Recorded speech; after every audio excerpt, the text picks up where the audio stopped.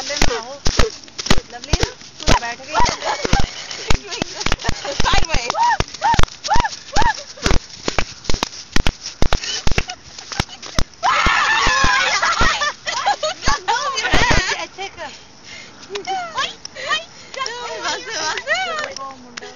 Okay, I have to